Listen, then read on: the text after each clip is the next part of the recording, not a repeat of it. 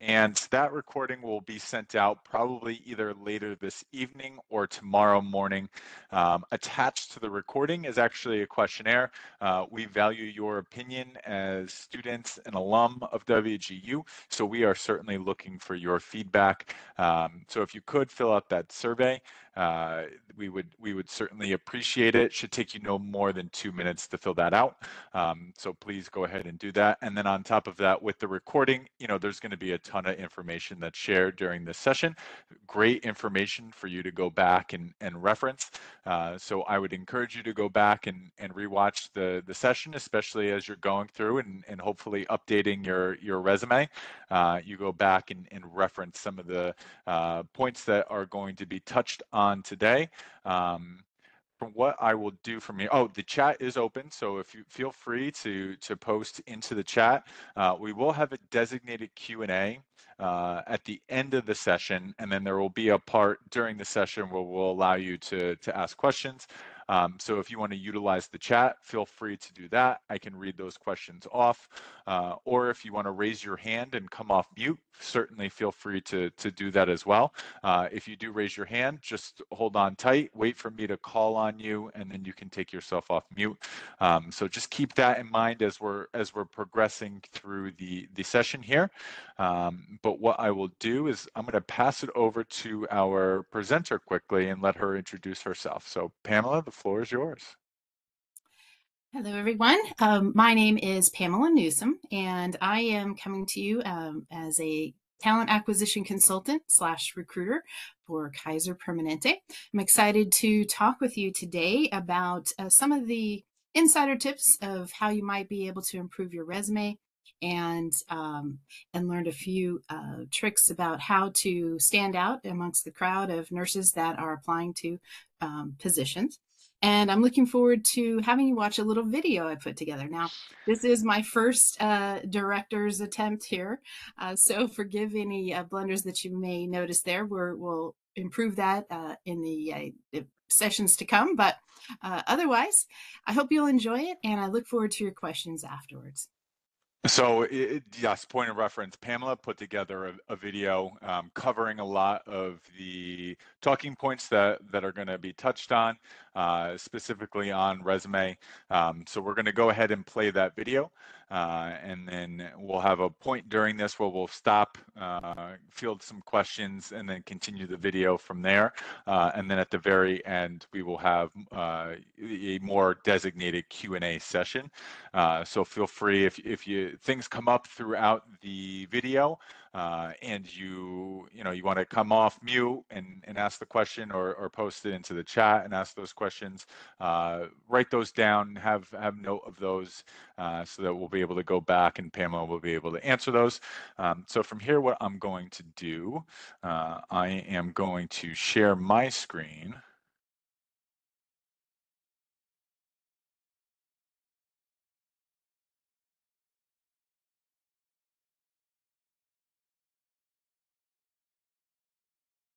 And one thing uh, I won't be able to do is I won't be able to see the chat. So uh, if um, Pamela, if you want to just come off mute and let me give me a heads up if I need to stop. Um, but from here, what I will do, I just want to make sure that's good. Here we go. Hi, my name is Pamela Newsom. I am a recruiter for Kaiser Permanente. I'm excited to be here with you today to share some of my insights on how you might be able to get a job in the nursing industry. Let's get started. Thank you for joining me today. On our agenda, we will be reviewing investing in your future. We will have a little fun looking at resumes from the viewpoint of a recruiter. In addition, we will review how you can put artificial intelligence to work for you. So far, you have invested between 2,000 and 5,000 hours to get this education. This next part of the journey, related to getting a job, will require a diligent effort. Stay focused and be strategic. One way to be strategic is to have an inside look from a recruiter's point of view. Typically, recruiters are very busy, have competing priorities, and are moving through a flood of applications as quickly as they can. Studies have shown you have about six seconds to grab the recruiter's attention who is reviewing your resume. Recruiters are quickly trying to determine if you meet the job requirements for work experience, education, and certifications. I recommend making the top third of your resume highly impactful, making sure to demonstrate those requirements to the recruiter quickly and clearly. Here are a few insider tips to making an impact as a new grad beyond the basics. If you have achieved academic excellence, be sure to highlight this on your resume. Also include clinical hours and coursework. If you did your clinical rotations at the hospital you are applying for a job, it can give you an advantage. Be sure to mention it. Consider getting an EKG certification for RNs as that will also set you apart from the crowd. I highly recommend having your ACLS from American Heart Association. Mention that you have letters of recommendation available upon request so that they managers and hiring individuals can ask for it. Mention any work experience in healthcare. This will also help you stand out. Find a way to demonstrate your commitment to working with teams and caring for patients from diverse cultures, such as volunteering for different organizations. With over 200,000 nurses graduating each year, the competition is significant for jobs. Although it may be tempting to compete with your fellow nurses, I recommend working together, building a network, and helping each other get hired.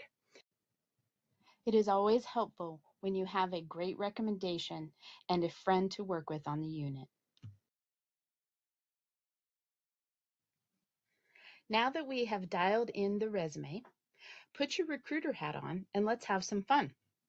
I will give you a few seconds to review the job description, and then with the eyes of a recruiter, you will have six seconds to review candidate number one. And then I'll let you know when the time is up, and we will do the same for candidate number two. Keep in mind, one candidate may seem okay until you review another one who demonstrates to be a stronger match. In this scenario, you can only hire one. Which one will you choose? Ready? Let's go. Here's the job. And just point of reference for everybody, we are going to ask for participation for this part.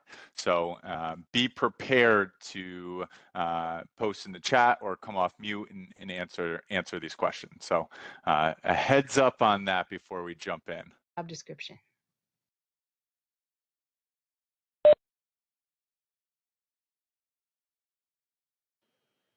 Okay, candidate number one coming up.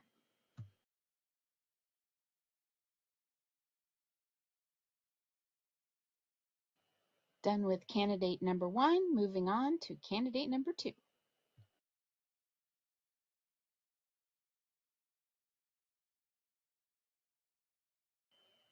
Okay, time is up.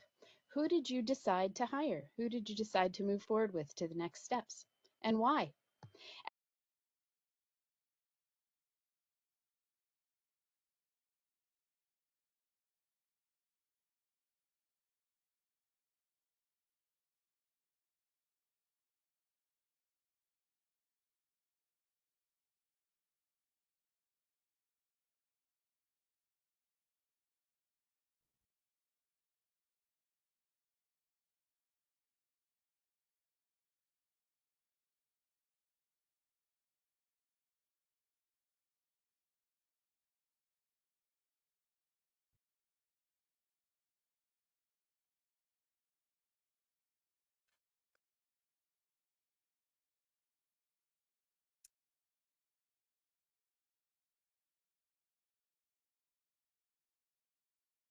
So I am not seeing the um, not seeing the video, not hearing anything. Wondering if something happened there. Can you hear me now? Am I good? Yes, I can hear you now. Okay. Uh, so anybody want to come off mute and, and answer? Um, you know, what, what are some things that stood out to you? Why I see a lot of people going with with number two. Um, what what are some reasons why number two is the better option for for uh, for you?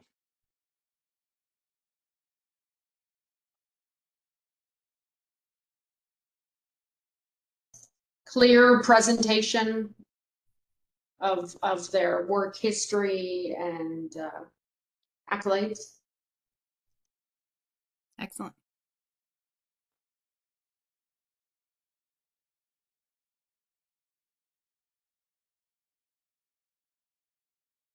Anybody else?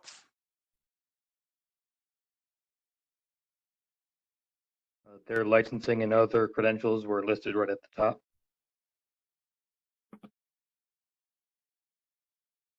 That is a common uh, thing that I see as a recruiter that people either do not list those things or they put them way at the bottom. And those are the first things that a recruiter is going to look for just to make sure, you know, right off the bat, we need to know to check that off the list. So always best to have that at the top.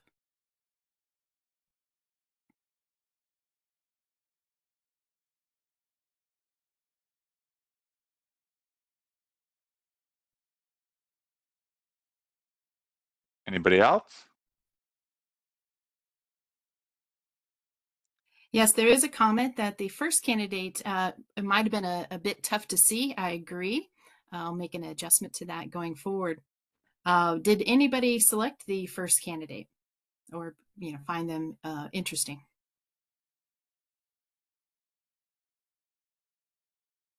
It went by very quick. I mean, six seconds, by the time you focused on it, it was gone. So I think it was easier to see the second candidate because it was easier laid out. The first one, you can't skim it so quick in six seconds. Exactly. Yeah, it's very easy for a recruiter to, uh, if, if a, a resume looks like that, uh, you saw, uh, you know, in the video that there was like stacks of, of, of resumes. Of course, this is on paper, but usually we are looking at things electronically. And there may be a hundred candidates um, to look at. If, if someone presents themselves in the, in the way as that first candidate, uh, it's very easy just to move on to the next person. Uh, so you want to make it tough. You want to make it hard for a recruiter to just move on to that next person. You want to check off all the boxes and, and be compelling. And I know, you know, part of the reason why Pamela had put that up for six seconds is that's the average time that recruiters spend on looking at a resume. Um, so I think that that's that's the crucial piece to this is making sure that your resume is organized in a manner that it's easy to read and you're highlighting those important things at the very top. Um, I mean, Pamela, just what are what what are like some things that really stand out to you right off the bat glancing at a resume? Is there something specific that okay i'm looking for this and now i'm i'm engaged a little bit more. Is there something that really um, makes you feel like all right th- this is something i'm going to spend a little bit more time on a resume like this yes um, i'm glad i'm glad you asked actually i'd like to speak to that a little bit more generally speaking, nurses, whether you're a new grad or or experienced for 30 years, uh, nurses are amazing, are able to you know dr- bring people back from the brink of death, sew their body parts back together, you know, do all these amazing things. But write resumes, not so much not so much. So a lot of times they will copy and paste a job description. That is my absolute least favorite thing because usually it's just a bunch of words. Imagine I'm reading resumes all day long. The last thing I want is, is more words that don't say anything at all. So that is the worst thing that you can do. The best thing that you can do is use a lot of quantifying numbers. I like to see numbers uh, whenever I'm looking at a resume. So such as, um, um, you know, tell me about how many people, uh, uh, what your caseload has been on that unit, how many beds are on the unit, how many beds are in the hospital, um, you know, these types of things, because then whoever is reading the resume can easily get a, a, an idea of the scope of work, the, the scope of the, the hospital that you're working with. If it's a 500 bed hospital versus a 125 bed hospital, that tells us a lot and so you want to use those quantifying numbers as much as possible because that stands out certainly amongst all the resumes that we're looking at uh, because so many folks are not doing that. In addition, you just want to get right to the point. You want, if, if you want to read that job description and you want to sh immediately show and to demonstrate that you meet that job description. That's like that gives that may buy you some more time of the recruiter to look at it uh, beyond checking off those first boxes. If those first boxes aren't checked, or it takes a long time, or I've got to, you know, uh, spend a lot of uh, time researching whether or not the candidate meets those qualifications, uh, I'm going to move on to the next person. So uh, definitely keep these things in mind, and uh, we'll we'll revisit this more uh, as time goes on. And I'm I am excited to hear all your questions. Thank you. All right, so we're going to continue the, the rest of the video. So I'm going to go back to sharing my screen. Uh, so bear with me. And just confirm with me, yes, we can we can see that. Yes? Yes. Awesome. All right, I will play the rest of the video. Who did you decide to hire? Who did you decide to move forward with to the next steps? And why? As you review your own resume, I challenge you to keep this experience in mind and utilize some of the examples that you saw in those resumes for your own in order to highlight your experience. Now that we have laid a solid foundation, I would like to talk about artificial intelligence. Imagine having a personal assistant that scours the internet, analyzing countless job postings to find the perfect match for your skills and your career goals. AI powered platforms do just that, saving countless hours of time searching. Your resume is also your first impression. AI tools can proofread it for you, provide keywords and formatting to ensure that it is optimized for applicant tracking systems and to catch the eye of that recruiter.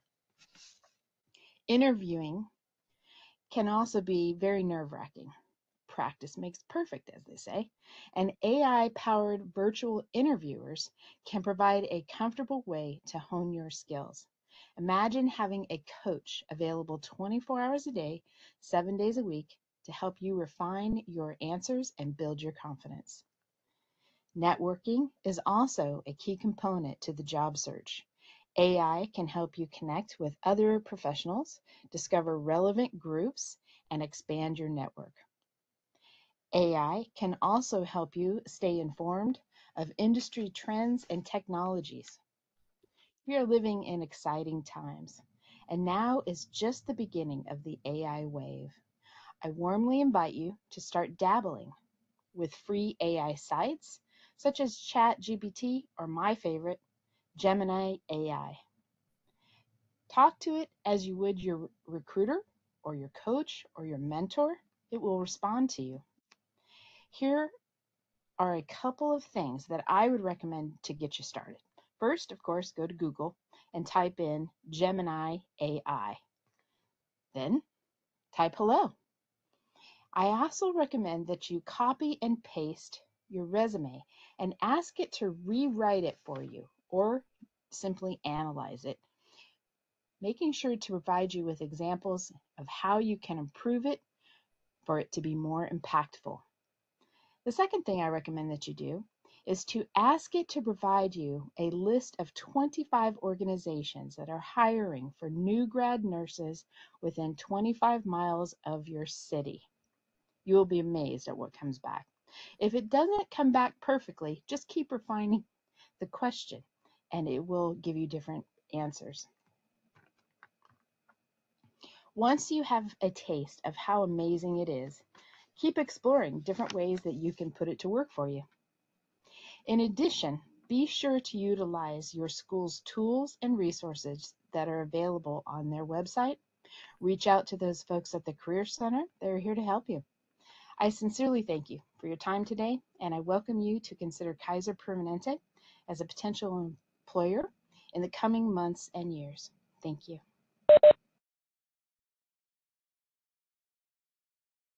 Awesome. Okay. You've just witnessed my first director's re- um, uh, review and uh, uh, exposure. Thank you for being my guinea pigs in regards to that video. One, uh, oh, and we already have some hands hands coming up.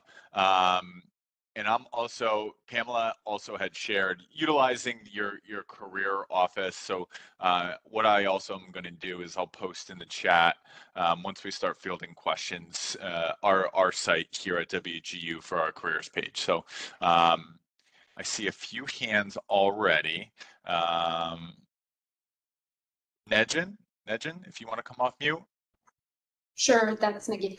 Pamela, hi there. I have a question. In regards to Kaiser Permanente, I know that they use a software system. And many of times, you know, I'm not a new grad, but I ended up coming to this. Um, many of times I put in my information, I know I have the qualifications, the education, I, I fit the job description, but then I, you know, I submit it, it says thank you, then immediately I get something back within twenty-four hours saying, you know, you don't meet the, you don't uh, meet the qualifications. But I know I do, so the recruiter's not looking at it at that point. How do we get past that? Yes, so uh, Kaiser Permanente does use an applicant tracking system. And uh, typically, if you get an immediate response back, then there was a an answer to a pre-screening question that did not go your way. a lot of times, uh, people actually make mistakes. They they don't read uh, fully. Uh, or th- they were on the fence about a question and they answered it in such a way that they they went the wrong direction that caused them to be rejected um, that is a bit challenging to get around. Uh, you, if that happens, I would recommend that you go into your application and review how you might have answered those questions and see if there was a, a mistake that might have been made, or if um, or if you answered truthfully and there was no mistake but still got rejected, then uh, there's something there that um, a requirement you might not have been aware of the i would not waste my time at all applying for any positions that you don't meet the basic requirements at kaiser because uh, we are a union organization and we have to meet those requirements. So there is a, a section in there that says we need these qualifications let's say it's six months of uh, acute care experience or uh, a year or whatever. Um, and then it says you know training. But the truth is that's like training light like training on getting orientated to the unit. It's not a full training regarding telemetry, for say, uh, for example. So definitely apply to positions that you actually uh, meet the qualifications for. Would you resubmit then? If you think, okay, you look at it, that you, would- would you resubmit? Yes, uh, if if there was an error there, uh, definitely definitely try that. Okay, thank you. You're welcome. And I and I know if if I could just piggyback quickly, Pamela. I know in in our office, the career the career advising team, they they usually recommend. I know there's different platforms that you can use where if you take the job description, you can upload that with your resume, and it'll make recommendations as far as matching up that resume a little bit more accurately to that job description. Whereas you know you might view your resume as a perfect match to that specific job but maybe there's keywords that you're missing that you you should have on the resume for that specific job um, and they're they're just not on your resume. So customizing resumes to specific jobs i know is key for applicant tracking systems. Um, you know I, I, think it's common for people to have like one base resume um, and then from there going in and altering the resume based off of that specific job as long as to pamela's point making sure that you meet those qualifications for that role. Um, i don't know pamela do you have anything that you recommend for for something like that um, for for resumes when applying to those jobs Yes, and uh, the truth of the matter is, talent, uh, uh, Kaiser Permanente has an older version of our applicant tracking system, and so we're actually not utilizing, uh, at least for nursing positions, keywords. Uh, so it is, you know, typically about three to six uh, pre-screening questions that are pretty basic. One of the things that I would like to touch on before I move past that is that a lot of times, especially new grads or newer nurses, uh, but not necessarily just those. Sometimes other folks uh, who are more experienced uh, are confused about what is acute care. And so, like in our job descriptions in particular, it says you must have this is for experienced nurses six months of acute care uh, nursing experience. That is not long term acute care. That is not post acute care, that is not um, uh, skilled nursing facilities. So any of those would not meet those qualifications. So that could also be a reason why uh, you might be getting rejected. But generally speaking, I'll tell you what I would do is I would utilize AI to uh, put in that job description and ask it to provide you with keywords keywords for an applicant tracking system. How you want to think of artificial intelligence is literally having your smart, you know, the smartest friend you can imagine available to you 24 hours a day, seven days a week, and you can ask pretty much anything except for political things. They they won't answer those questions, or you know, winning lottery numbers or or stock. Um, you know investments or anything like that but otherwise you could you could literally ask just about anything so i recommend if you have any kind of question in your mind like that just go to um, gemini ai and just ask it you can you can put it in very plain very casual conversational language and it will bring back something pretty amazing most of the time.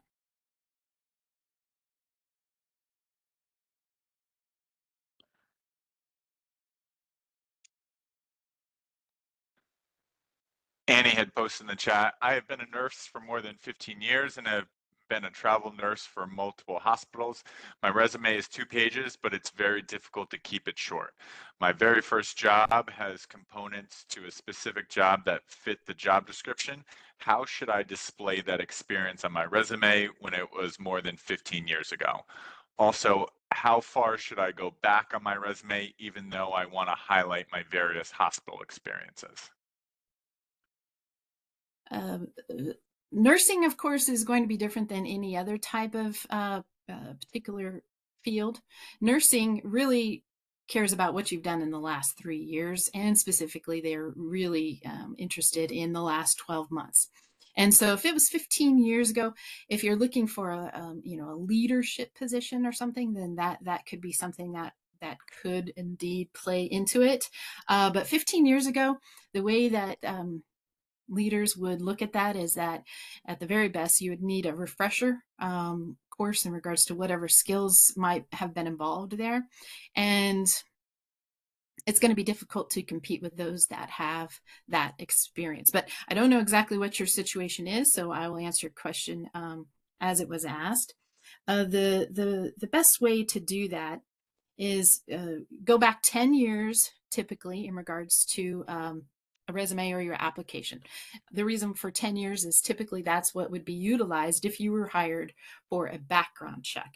And so they don't go back farther than, than 10 years. Um, if you were looking at a leadership position or something like that, and you'd worked five years or more, or something 15 years ago, um, I would, I, I might bubble that up to the to the top and uh, but be very clear in the fact that this this was previous experience, uh, but it was very relevant and uh, and it had a long duration, and that you felt you feel that it um, would contribute to your ability to qualify for the position and also bring uh, quite a bit of value. You always want to be keeping in mind when you're talking uh, to anyone in regards to a hiring uh, position. either during an interview, phone conversation, or when you're applying and submitting your application and your resume that the, the focus of, in your mind should be what value am I bringing to the table? Um, and so if you can present that, even that uh, older experience in that manner, that that experience would indeed bring value, although maybe not recent, uh, then just uh, you can make it a, a, part of your objective or uh, a summary in the at, the at the top of your resume, but make it brief to the point. Uh, you can fill in more details later on where it's appropriate chronologically, uh, but don't don't use up the top third of your resume with a lot of words regarding that old experience. I hope that helps. We had another question come in. Should I have both the summary section and competencies or just one or the other? The, you know the summary and the uh, object objective sections if not used wisely are a waste of space and should not be utilized. Uh, how I recommend that you utilize, let's say, the objective area, you know, you'll see that in sample resumes and stuff like that, is that you actually provide some some um, relevant information to what you're trying to do. If it was me, I would say I'm looking for a telemetry position within the San Francisco Bay Area, working 24 to 32 hours a week on either a night or an evening shift. You like get that specific. Um, because now that with a recruiter, when they see that, that not only are they looking uh, for the position that you applied to, then they may be able to cross pollinate you over to other positions. Uh, if you're applying to San Francisco, for example, but you've said the San Francisco Bay Area, I might consider you for another location uh, nearby. So that would be an impactful, powerful way to utilize that section. In regards to a summary, please do not uh, put a bunch of, of words such as, you know, hardworking, team player, um, uh, easily trainable, you know, quick learner. Everyone and their 14 dogs say the same thing. Uh, so say something different. Give give us something that is different about you if you're going to utilize that section, um, and make it uh, concise and impactful. I hope that helps.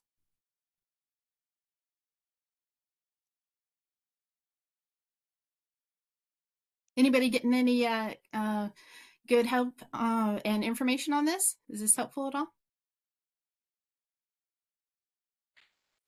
Let's get thumbs up going if if we find this this helpful thus far. Yeah, this is your chance. This is your chance right now. Don't There waste it. to ask any question that you want to know from a recruiter at Kaiser Permanente or a very large organization. Now, Kaiser actually was the original managed care model. We've been in business for 80 years. We're in eight states. We have 21 locations here in the uh, Northern California area where we actually pay the most. Uh, I had to remind myself here today what new grads are starting out at as as a pay here in California. Now that does, of course doesn't um, uh, translate to all the other states, but here in California, which you might want to consider, uh, nurses just out of school with, uh, with no experience start out at $77 an hour. Then you get six months of experience and it goes to $81 an hour and it goes up from there. So you're talking to the person who makes those decisions on the first opening of the door to get you to that that level which is you know that's life changing for you and your family that kind of thing. It's a career that you can have for life. Here at kaiser permanente in particular we actually also offer a pension plan. So no matter what employer that you consider be sure that you're starting to think about um, pension retirement and things like this. Um, Stephen Covey had a, a, book that I absolutely love called The Seven Habits of Highly Successful People. And that book, the, the most important thing that stuck with me is that you be, always begin, always begin with the end in mind. And so that way you navigate between uh, the points of A and Z in the most efficient manner. So when you get started in your jobs, you want to be uh, thinking about retirement uh, for that reason so that you uh, you know get to your goals quicker. But also time is the most important thing uh, and the thing that is on your side uh, for retirement. So take into consideration these types of things when you're considering different employers. And uh, so don't be shy ask the questions i'm excited to help. Makes my day if i can change uh, change anybody's life a little bit and make it a little bit easier in this job search a few questions just came in. Uh, first one, are pensions available for all employees or just nursing? Uh, at Kaiser, it is uh, for pretty much all, all employees, but especially for nursing. And then the next one that came in, I'd like to know the best way to show my 20 plus years of nursing experience when I haven't worked as a nurse for the past five years, but now I'm in school for the MSN? Uh, I I have a couple questions for the MSN. Are you looking to get back into bedside or or leadership and management? Um, if you are getting back to bedside, maybe you've been away for a while, but you have that 20 years of experience, then you just highlight uh, that you're you're completing that master's um, and and your leadership that you had in the past and your experience in the past, bringing bubbling up the best parts and and the and the the strengths that you have. Um, because that that kind of thing would set you a, a, apart from you know a bunch of new grads who um, never worked for a hospital before, uh, but did just get their nursing degree. Um, as I mentioned in the presentation, if you have that uh, healthcare experience, it does uh, somewhat uh, open the door uh, for warm reception because you have an idea of the mindset, the the, the time commitments, the levels of stress that th- can come along with it. Uh, so it's uh, certainly valuable. I hope And that to answer your your original question, it was for leadership and education. Yes, and definitely uh, bring that up to to the attention. And the master's um, is is an excellent uh, avenue to be pursuing. So, good choice there. Next question, are HIM opportunities available at all site or more of a main campus? Uh, hmm. I can't confidently answer that question. Um, I would like to look into it. So if you want to send an email to RJ and he can forward it to me, I can get back to you on that. Awesome. Next question, uh, how can I incorporate military experience in my resume? What details would be important to include and what details would be overlooked by a recruiter?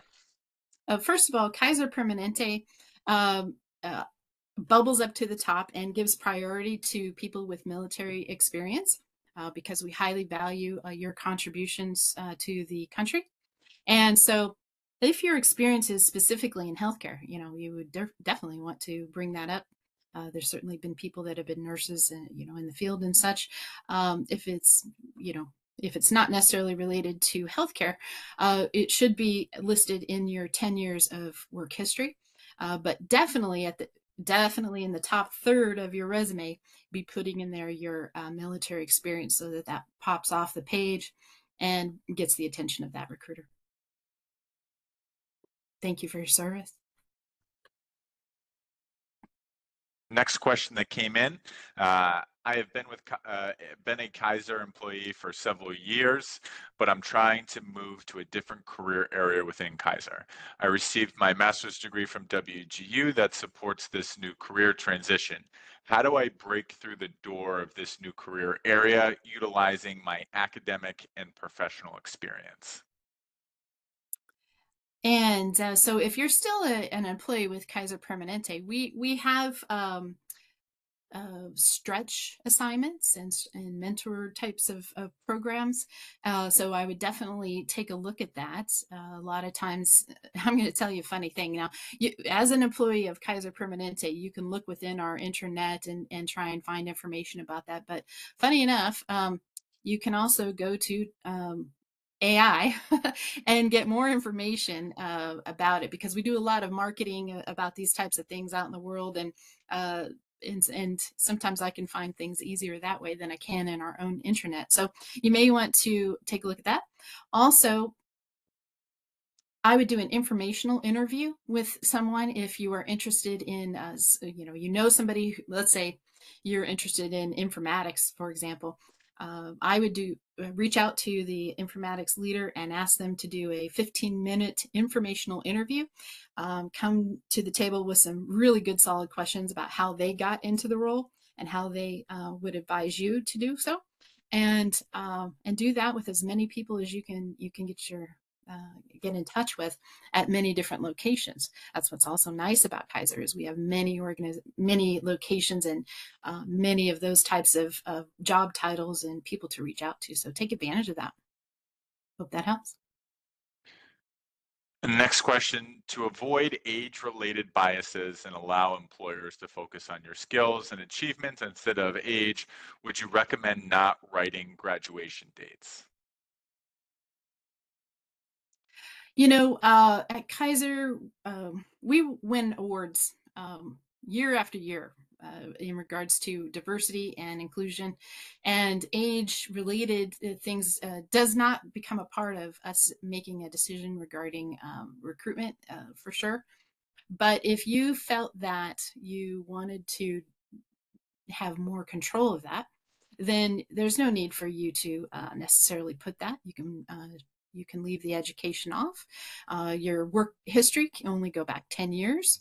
Um, and you know, uh, you know, you you could appear as though you're uh, just very uh, experienced, but it doesn't necessarily indicate how many uh, years that you might have lived, for a better way of putting that. Um, I hope that answers your question, but uh, I also wouldn't put my location, to be honest, uh, because uh, because we have 21 facilities. Um, a lot of times, if you live in Sacramento but you're applying in San Francisco, the first thing I'm going to wonder is, really, you're going to really you're going to drive a hundred miles uh, uh, one way every day and around 200 round trip.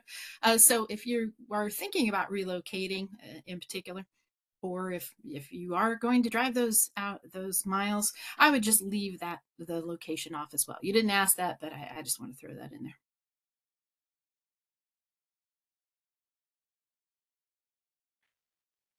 Anyone else have questions? Oh, one just did come in. Um, so much is on the internet, so easy to see how old someone is. Do you do recruiters look online? no way oh nobody has time for that.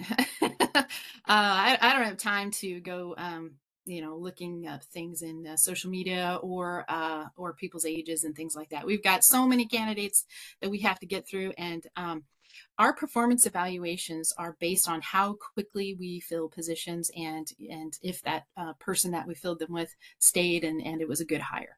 So um, we really don't have time to do things like that so you can you can feel comfortable that that's not happening Any other questions? i'm here to serve i'm here to serve you we have a few more minutes I I had one. You know, if if people are interested, Pamela, in in possession positions with Kaiser, where where do you recommend they they look? Is it the the job board? Is there anything specific? Do you recommend them reaching out to anybody if if um, if that might be helpful? What what would your recommendations be there? Yes. So uh, on our career website, we actually have a, an entire section there for new grad nurses and new grad programs. We hire about 100 nurses a year. And of course, it's the, you know, pretty uh, aggressive competition. So you want to um, read through that and uh, be sure to prepare yourself. I, I recommend doing that sooner rather than later uh, so that you set yourself up for success and just and do everything that it says to do. Uh, plan on the fact, plan on um, if you see a position posted that you apply immediately because we do look at candidates in the order with which they apply. And in order to be fair and equitable, just across the board, we we all have to do that. And uh, internal candidates do get priority. So let's say we had an LVN that was working here with us and they applied uh, internally, they they may get uh, priority uh, over any external candidates. So that can happen as well. Uh, but definitely read through that. If you're an experienced nurse, the job postings are up to date. Uh, and I just recommend that you create a, a general profile and set your preferences. Uh, so the general profile allows you to uh, put in your information one time and then bounce off of that to apply as many times as you want. And then you can set up preferences to receive emails uh, for, let's say you're looking for a med surg position in Sacramento working night shift. Uh, you can put all that in there and then you will be notified. As soon as we post a position, you'll get an email uh, that says this has come available to you. Uh, and I suggest that you stop everything, everything, stop everything, and uh, submit your application immediately so that you're at the top of the list. And um, in regards to uh, new the new grad hiring i hire experienced nurses i am not part of the uh, new grad hiring program at this particular time uh, in regards to the hands-on making those decisions uh, so my recommendation is that you get familiar with that website that I just mentioned and um, apply very quickly. And if you don't get in, you apply, uh, you know, all the time. You're just always keeping an eye on it. Um, other th- suggestions that I honestly have are that Kaiser, uh, because we have, we're, we're, an employer of choice, we're well known in the country, um, we get a lot of candidates. So, what you may want to do is uh, be strategic and take a job outside of um, California, outside of, of the Kaiser area, and get experience for six months to a year, then come back. A lot of people do that, and it really does uh, help you in regards to your odds of doing that. You can do that and continue to apply to new grads if you would like new grad positions if you'd like to.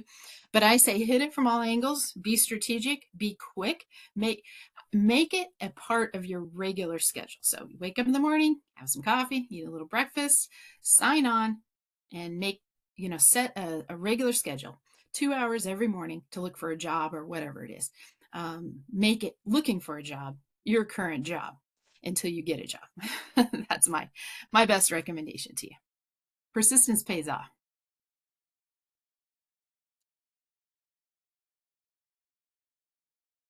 Did I leave anything out?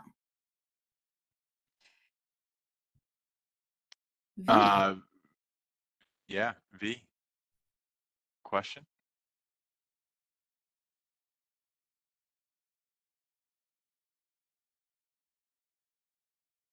Looks like V dropped off. Anybody else have any questions?